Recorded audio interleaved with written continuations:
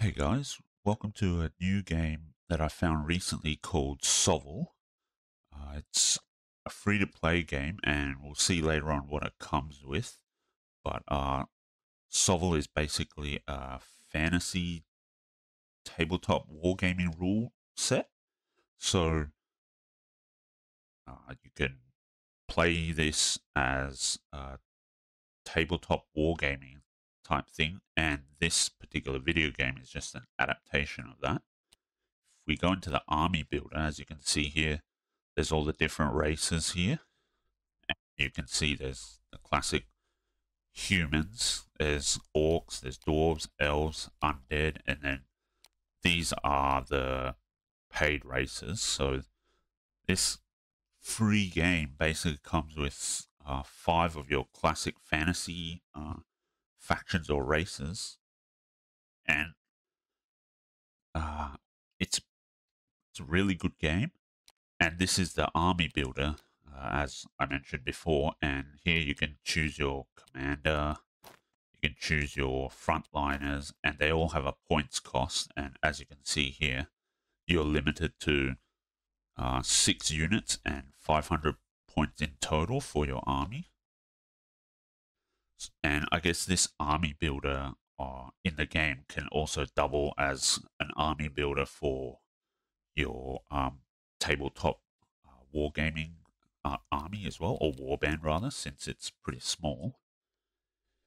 And as you can see here, there's multiplayer. You can play ranked games. I think there's a there's a like a ladder or an uh, if you're familiar with games like League of Legends, there's a or Dota, there's like an ELO or an MMR, so a ranking associated with that.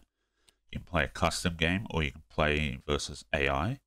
And I think uh, these modes use uh, an army you've created in the army builder, which is kind of cool. And you can, I guess, test out your your build uh, against an AI and against friends if you want.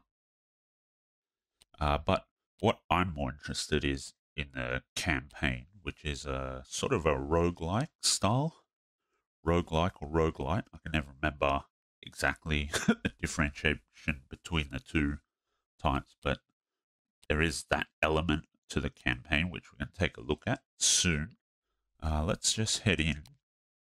And here you can see uh, you can see that the all the different races that we saw before. So here, as you can see, you have to buy the DLC. The DLC are, I think it's like, well, in Australia they're seven fifty. I guess US is like five bucks or something like that, which is pretty decent deal, considering this is a completely free game and it comes with five races uh, out of the box straight away. Uh, as you can see up here, there's uh, a little bit of meta progression. So uh, you can unlock different units that you can again then uh, get access to for subsequent runs, which is quite nice. So I've already unlocked the first one for the Empires of Men. From memory, it was like the light Imperial Cavalry or something like that. Uh, if we look at Greenskins, I haven't played them at all, so I haven't unlocked anything and I have no progression. The Dwarves, I've unlocked two, and Inferno Cannon is the final one I have to unlock. You can see here the elves. I've basically unlocked everything that we can there. And the undead I've also not played at all. And so that's the meta progression for just playing the game. Even if you fail a run, you'll get some of that progression towards unlocking those extra units if you are able to finish a full run, as you can see here, there's also challenge levels. Uh, if we go back to the greenskins, you can see they're all unlocked because I just haven't finished any, or I haven't played any single runs with orcs or undead, so that everything is unlocked. Whereas with the elves, I've actually unlocked challenge level 3. And if we look at the different uh, different uh, leaders, which are over here. As you can see, you can choose from three different leaders for some races. or I think most races, yeah, except elves have, uh, you have to buy a support pack for this one, which is fine. That's pretty cool. Spell sword. But yeah, as you can see here, I've unlocked and completed two of the two of the challenge levels already with the elf mage. With the elf noble, I've only uh, completed one, which is the filled in dot. And if you look here, obviously it's it's locked. So I've unlocked these, but with the elf noble, I've only finished challenge level one. And if you look at the elf mage, I've actually finished challenge level one and two with the elf mage. And mainly because once you uh, beat challenge level seven, you get a reward. I obviously haven't reached the the that reward level with uh, any race or any leader, but for the elf mage, if you get to completing the challenge level of the end, you unlock the cool elf sorceress, which looks super interesting. And she looks like she might be a drow as well, which is cool. Uh, I'm not sure exactly what the variant will do uh, as compared to what the elf mage himself does. But hopefully I'll eventually find out. Uh, for me, I, I do think that of the five races, or classic races, and the five that are already unlocked, or come with the game itself, Elf is probably my favorite.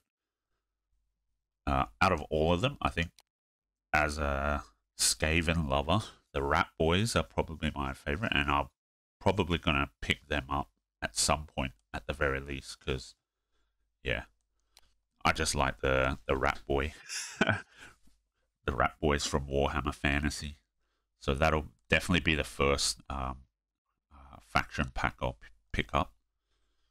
But uh, yeah, let's start this run off because I do want to get to the Elf Sorceress, as I said. So I'll probably be doing uh, Elf Mage runs quite a bit.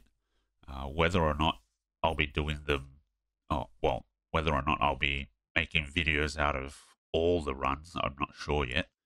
Uh, if you want to see more, uh, feel free to subscribe and hit the like button. That'll help me uh, know that you guys want more of this sort of stuff. And if you want to see the other races or leaders, feel free to leave a comment and let me know what you want to see. But for now, let's let's do challenge level three, and we'll start.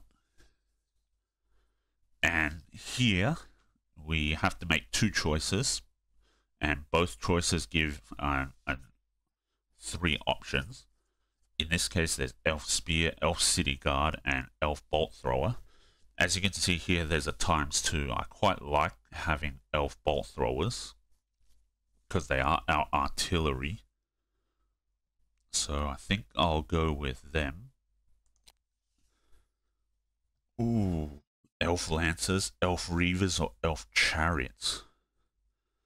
There are two chariots. I think I want to go with elf reavers though. I do like that the elf reavers are mounted and they come with bows, so that's good. So I'll take them. I have taken elf chariots before, which is quite nice. I think I beat challenge level 2, picking two elf chariots and two elf uh, bolt throwers. So I think I want to change it up and go with reavers. So these are our starting units. We got two elf bolt throwers that we pick first. We've got elf reavers that we pick second. And obviously our leader is the elf mage. What's not shown here is that all leaders actually come with their kind of retinue or their their sort of bodyguard unit. So for the elf mage, he actually starts attached to a uh, a regiment of elf archers. So in theory, we have two elf bolt throwers, one elf reaver, one elf mage, and also an elf, uh, elf archer troop as well. So we'll see that once we get into battle. Uh, but for now, let's embark. So the goal here for this is to we we start from this end, the left side, and the goal is obviously to get to the boss fight here and beat the boss fight, and that that will complete uh, one, and that will progress us to Act Two. And once you beat the final boss of Act Two, that for now anyway, that counts as a completed run. I'm not sure if the dev is going to add more acts, but we'll see what happens there. I think the last patch from memory was patch 0.58, so I think there are plans to do a hell of a lot for the game, considering how much content is already uh, in the actual game, and it's a free-to-play game. That it's actually quite crazy, and it's a ton of fun. So now obviously I just mentioned that we want to make our way from the left side to the right side to get to the boss. And as you can see here, it plays out similar to uh, a very, very cool old school game, Faster Than Light, in terms of the map progression. So as we can see here, there's also a legend in the bottom right corner that explains everything. So a battle is just that, does what it says it's a fight, which we'll take a look at afterwards once we get into one. Random event is just exactly that too, but the random event or I think almost always results in a positive outcome. It's just that some of the random events, even though you do get a positive outcome, there are events that can also uh, come with some sort of negative. So if you get lucky, you don't encounter one of those that that have a potential to have negative outcomes, but almost always you will get a positive outcome from what I've experienced. Armory is essentially um, sort of a shop, I guess, as the name Armory implies, and you can upgrade the or give your your individual troops uh, uh, upgraded weapons, better weapons, some banners that'll give them boosts. Some sometimes you can buy items that are one-time use every fight, or maybe just one-time use completely. I'm not exactly sure, but you can also recruit new regiments into your army, which is actually quite quite good, especially if you can uh, encounter them early on and pick them up so that they gain experience. Elite battles are the same as battles, but the enemy is usually a lot tougher, obviously. I I'm not sure, but I would assume you would get better rewards, but I, even though I've played this game quite a bit, I don't quite remember noticing any uh, appreciable difference in the rewards, so I can't exactly sure what the benefit of going to elite battles is, other than you know uh, a bit more of a challenge and slightly better rewards. I'm not exactly sure, as I said. Uh, I guess we'll find out, and yeah, see how that goes. I'm not sure. I never actually bothered to look on the wiki, so maybe the wiki actually tells uh, tells you what the rewards for the elite battle is, which I might go and take a look at after. Uh, the campsite is where you can heal up your army and and get some experience as well. So uh, prob if if your progression through the the map means you're you've taken a lot of damage, it's obviously good to go to a campsite just to recover. And especially in a situation here where there's a campsite right before the boss, that's always really handy to have. And obviously you want to go uh, from from the starting point to the boss and pick the the path that is most optimal for you to obviously go uh, survive to the boss fight and then beat it. So usually you would, uh, yeah, you'd have to be adaptable, obviously, and then you once you get to a branching section, then you can choose which way to go. So for me, I think I want to go down this way. I don't mind the random events. I think they're quite cool. So the earlier you can encounter random events, uh, the better from my perspective. And the earlier you can get uh, an armory and hopefully have enough cash to to buy things at the armory, also the better. And then, like, if we, I think what I do want to go through the bottom path, and then once we get to this armory, we can decide on whether we want to go to the random event or the battle before and then obviously if we go for the battle we can choose between an elite battle or a normal battle. And obviously if we go down this way there's a camp right here which is quite nice and also a random event as well. So we'll see how we go. We'll start off yeah we'll start off down here because I want the random event so let's do that we can get into a battle and see what's going on. Okay, we're fighting orcs. That's going to be interesting. Uh, okay, and as you can see here, the mage comes with nine archers. So we actually start with essentially four regiments of troops. And combat starts off with a dice roll to see who gets the first turn, initiative, so to speak. And it looks like we rolled a 2, they rolled a 3. And so obviously the orcs are starting before us, but now we are in deployment phase, which is the, always the first thing that happens uh, at the start, very, very start of a fight. So uh, let's see what's on on the map. We see lots of forests and we see some rocks, cliffs. Uh, this terrain is impassable, and obvious, uh, obviously a cliff will block line of sight.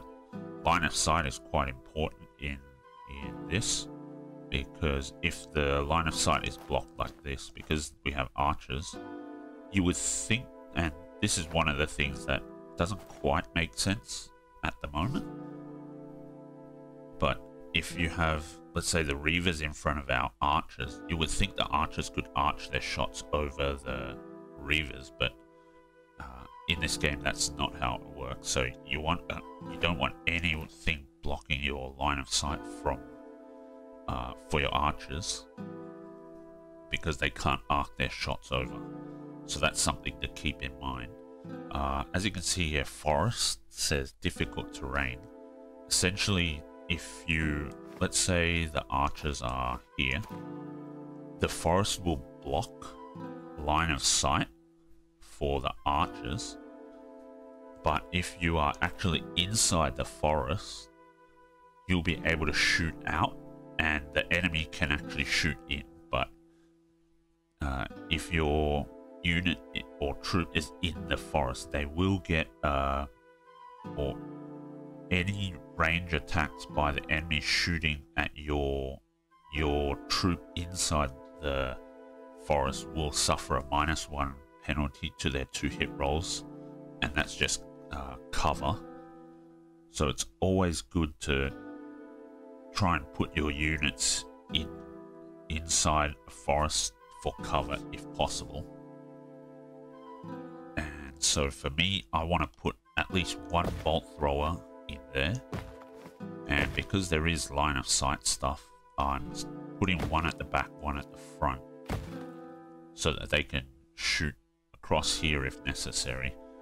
Usually in the first battle, there's only two troops, so yeah, it's one of those things where the setup is less important at the very start, but it's always good to get into the habit of um, deploying well, I suppose. So I think I want to start like this, and let's get started. As you can see up here, there's three phases to combat. Charge phase, no one's in range to charge, so we just went straight to the strategic phase. If you want to look at your unit's charge range, you hold X and that shows up like this. If you hold C, you can see the charge range of the enemies. Because the orcs had first turn, the boar riders moved, and as you can see, they moved into charge range of our units. So if we're not careful on the next turn of combat, they will charge one of our units. Uh, but for now, it's our turn. So if we look at the bolt throwers, let's activate them. And now a number pops up on top of them, which is 7. And that shows how many movement points they have. So you can move a maximum of 7. And if you're move, moving through difficult terrain, obviously you can move. Uh, cost more movement to make your way through that as opposed to if you are moving through just open ground. Uh, now, as you can see here, you, I can move, but because I haven't confirmed it, I can use right click to undo that move. Uh, however, if, let's say, because here I can turn the, the direction that my unit is facing, because the units are in this direction, I'll turn a little bit uh, but what I can do now is, now that I've turned my unit, I can double click and hit, and the actual unit will will fulfill that that action. But if I just move forward and I think that's a mistake, and then I I'm like, oh, I want to change direction, and then I feel like, oh, that's a bit too far. I don't want to do that. I can actually right click all the way back to my last sort of confirmed move. So you can do a little bit of planning for just the unit you have active at that moment. I'm happy with that, so I, I want to attack them. So let's do that, but as you can see here, there I can actually target the Orc Warriors. And if you hover, it shows you their minus one long range, so the sort of dark green part of the vision cone uh, is actually long range and attacking or shooting anyone any enemies in long range results in a minus one penalty to your hit which is why this these orc warriors are 4 plus to hit but the boar riders who are in the light lighter green zone which is considered close range they are 3 plus to hit so the 4 plus is the minus 1 long range. So it's usually it's always ideal to hit closer because you have a better chance of actually landing the hit. So let's hit the boar riders because they are in our charge range and we want to whittle them down as much as possible before they get a chance to charge us. So let's attack. As you can see there, we've got three hits at 3 plus, and we on three three six-sided dice rolls, we got 3, 4, and 5.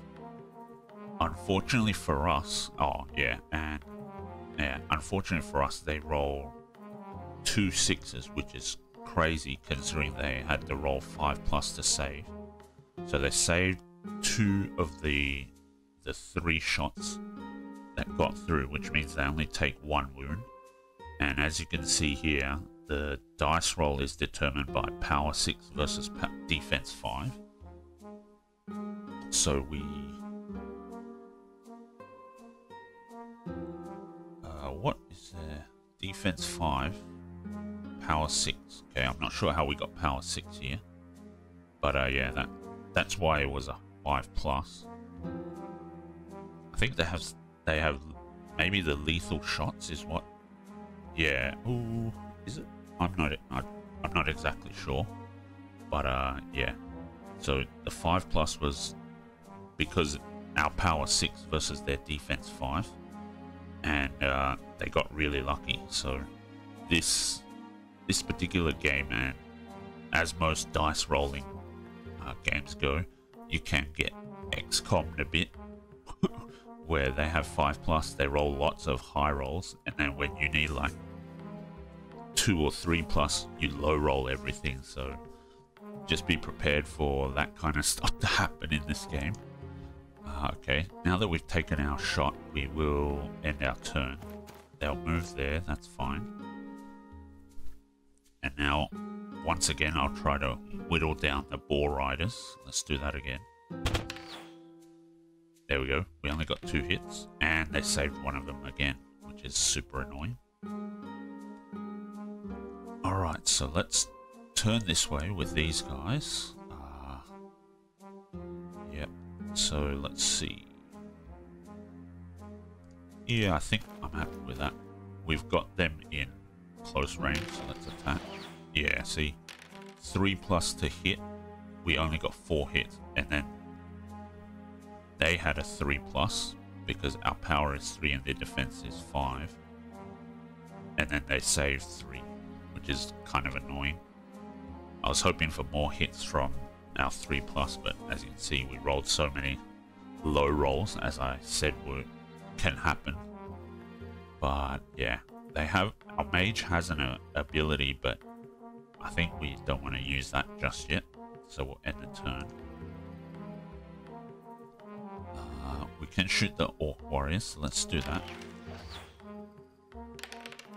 And they save them all. Yeah. Annoying, but it is what it is. Okay. Now we go to combat phase. Because there's no melee combat, we'll just automatically go to the next turn. Uh, okay, the Boar Riders are charging our mage and their archers. We can't really do anything. Yeah, we're not even in charge range of the Orc Warriors, so can't do anything about that. Okay, they've charged in. Now we have quite a problem because uh, troops engaged in melee combat like this can't be targeted by range attacks, as you can see here. We can't shoot it because they're engaged in melee. Presumably because there's a there's a decent chance that if you shoot at them, you'll actually hit your own units, which is not ideal, obviously. So now we have to figure out how we can get in range to hit the Orc Warriors. Uh, let's turn a little bit. Uh, let's move I guess. Can we? Can't quite. Oh, we can. Yeah. So now we can just get there. So let's let's attack them. Is long range, and we rolled ones. They rolled a one two at least. So there's that. Uh, no, we don't want to do skip that now. I don't think we can get into well, I suppose we could try and get into some kind of uh, shooting range. If... Nah, not quite, yeah. Oh well, we made a move. Can we... No, we can't quite charge. Uh, in this, you can actually charge their flanks or their rears to try and um, help out with this particular combat or just to charge them in the flank or the rear. It's obviously more ideal to charge in uh, on the flank or the rear because that ends up giving you a bonus to your combat score, which we can talk about once we get to the combat phase. Uh, because we can't do anything else here, let's just end out uh, the turn of the bolt thrower. We will shoot the orc warriors. They failed to both saves, okay? finally their turn to roll low roll. Uh, we should be able to, yeah, we are in charge range, so that should be good. Uh, I think I want to charge, move forward here. Try and charge them in the flank, because the flank is more damaging, which we'll take a look at. Let's end the turn here. Uh, with this one, let's activate now that we're in actual melee combat, uh, I think you can use Divine Favor outside of melee combat because, yeah, well, yeah, because the boost to skill is nice as well. And I forgot to explain that, but if we can look here at the, the card for the units, skill is basically chance to hit. Uh, I think I don't remember if the chance to hit is determined by comparing skill to defense or skill versus skill, but essentially the skill stat determines your chance to hit both melee and range attacks. Power is uh, this chance to actually damage them. So power versus the defense determines the defending unit's uh, save save roll, and obviously defense is that. Attacks is two attacks, so on this card, this is reference to the elf mage, so the elf mage has two attacks. But up here is are the archers that the mage is, is attached to, so the archers have one attack, which means every single model within that troop or regiment has one attack, so can we see it?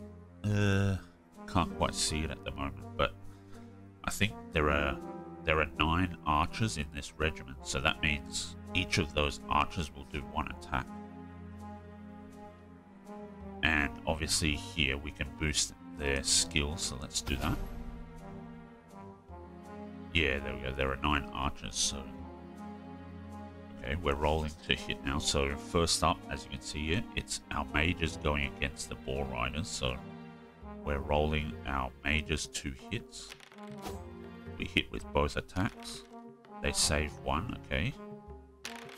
Now they attack with six attacks on four plus. They missed them all, which is good for us. And only one got through. Let's see. Probably we do save it. I was expecting not to save it. So their power versus our defense meant we only had a 5 plus. Now it's our archer's turn to attack, as you can see here. And yeah, we have 9 archers, so we have 9 hits. 6 is decent. They have 3 plus and they saved all but one of them. So that's a bit annoying. We did win combat 2 to 0 and they failed the, their morale check to and they legged it. And the morale check is determined by the discipline. So depending on how the combat went, there there will be a penalty if the combat went poorly, obviously. And obviously, wounds uh, tells you how many hits uh, each unit within the the regiment can take. So it takes two two wounds to kill off one reaver. So eventually, in this case, once the reavers take a total of 10 wounds, the whole unit is basically eliminated from the battle. Uh, okay, now that we finished that fight, boar riders have turned tail. We will charge into the side, which is exactly what we wanted.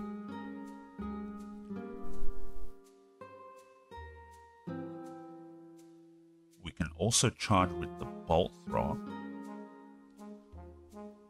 but I don't think we want to do that. I don't want to risk taking too much damage with the bolt throwers when we can just hang back and shoot them. So let's convert, confirm our charges. Okay, now they're engaged in melee combat. We'll shoot these guys. Only one hit. Which they saved, okay. I don't know if there's any benefit to shooting them, but I do want to eliminate them so that they don't have a chance to rally and come back to torment us. Uh, let's turn with our mage and archers and let's push forward, see if we Ah, I don't think we can quite reach there. Okay, so let's use Divine Favor on our Reavers then and we'll go into combat now. I did mention it before, but as you can see up here, this is the combat score. So whoever has a higher combat score will win the actual melee combat. And because we charge them, charge them in the flank, we start off with a plus one there. And uh, both combatants will get extra, uh, extra, oh well, another uh, combat score for every wound they inflict, and a side charge here gives a bonus of plus one, but if you do a rear charge, that gives a bonus of plus two. Which is why charges on rears and flanks are ideal because you get bonus to the combat score. You can also get, uh, uh, I think there's a flag that lets you get a bonus to combat score as well when you go to the armory, but we'll see if that happens uh, later on. Uh, we have five Reavers. They they all have two attacks each, so we've got ten hits. We actually hit with eight of our attacks, which is nice. Okay, awesome. We hit, and as you can see here, we they say three kills, but essentially it means we inflicted three wounds to get plus three to our combat score. Uh, they have three attacks and only one got through, and it, we suffered one wound, so and they bail. So essentially, this is over. Yep. And we only suffered that one wound, I think. And this is the victory, um, victory screen, I guess. Shows you how many kills were gotten by each uh, troop. How many were models, I think, were lost. I think Yeah, I think that's what that means, although we have 9 out of 12. So I guess we started off at 9 out of 12 and we didn't lose anyone. So that's just how this started. Maybe this is because of the challenge level. I think challenge level 3 is, yeah, smaller starting unit, which is why we have 9 instead of 12. Fair enough. So, yeah, if you get enough experience, you level up, and you can click the level up to do that, which we'll talk about once we we get to that point. Uh, otherwise, there's rest and loot. So for for rest, it's just recovering wounds or recovering models within each troop. Because we are full on these guys, I like that the game doesn't even let you accidentally click the recover the, the rest and recover option. So we'll take the cash. It's important to get quite a bit of cash so that we can do stuff at armories and potentially at certain random events as well. Uh, for the archers, I think we'll take the cash as well. And let's move on. Okay, now we'll go for the random event, see what we get. Ooh. So we get we encounter mercenaries. That's pretty good. Dwarf cannon. Cannon range 48 D3 hits. Protected crew. That's pretty good. Uh, if we hire them, though, we'll get minus 20% gold income, which is kind of bad. But for this unit this early, I think it's worth it because it doesn't cost us anything. It just costs us 20% gold income for the rest of the run. Alright, so let's go on to the next fight now. We're up against undead zombies this time. Okay.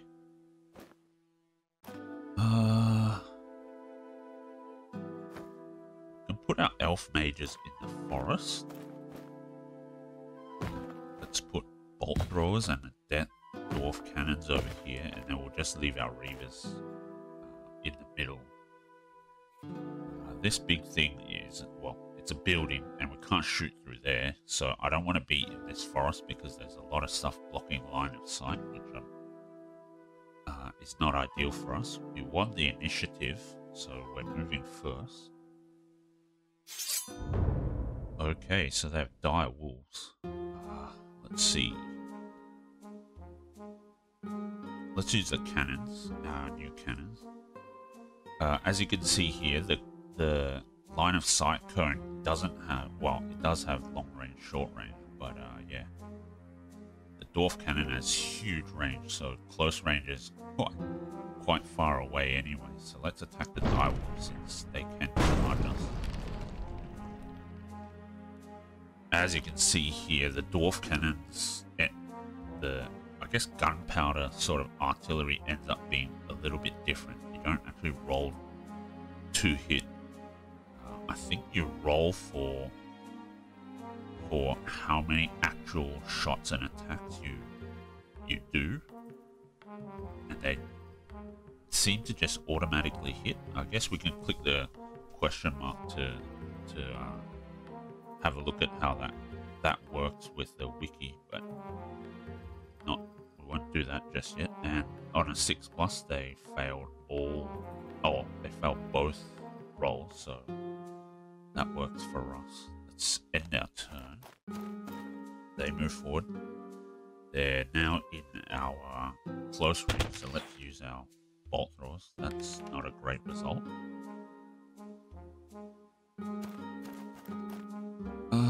Do we want to use Elf Mage? Yeah.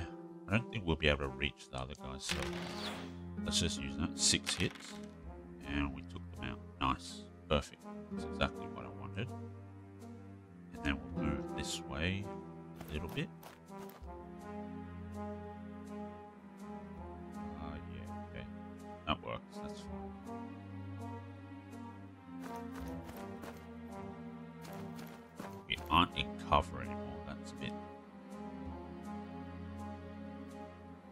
Mistake on my part, but luckily they don't have any range.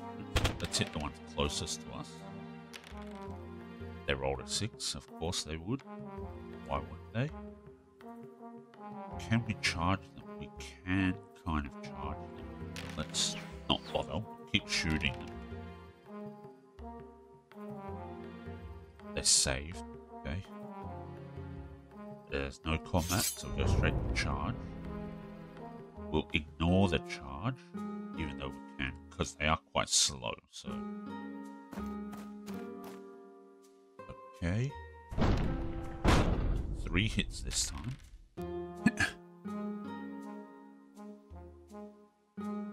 Sixes. Quite BS, as far as I'm concerned. Let's shoot them again. Two hits. They didn't save it that time, so they lost two more. Shooting those guys. They lost two more. Perfect. They saved one. Okay. Uh, let's move uh, like this and prepare to charge them. They can't counter charge us, so that's good. Yeah, okay, that's fine. Let's move a little bit closer. Get better shots off. Okay. Going straight to charge phase again. Charge these guys. Because there's less of them. So hopefully we'll do better.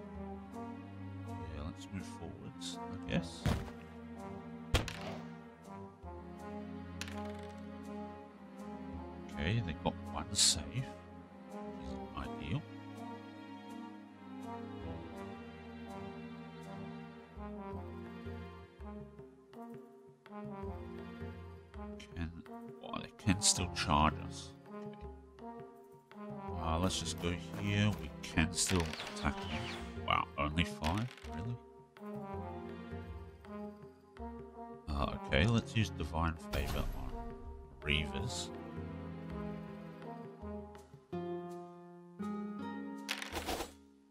Eight hits, nice.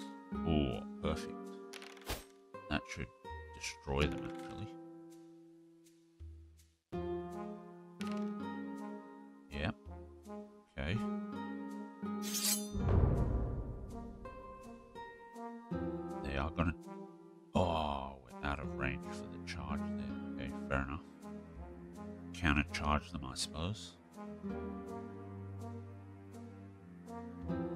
No? I can charge. Okay, intercept. Fair enough.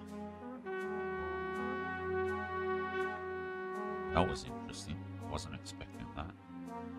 Uh, let's put Divine Favor on our archers.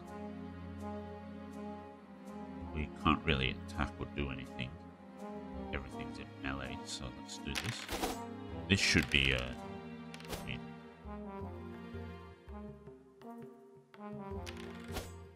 two hits. They got both saves. Two hits.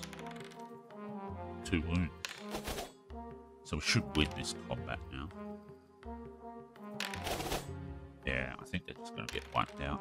No, they're not. One survive. They should crumble anyway. Yep. And we've got a victory. After every combat, uh, they should...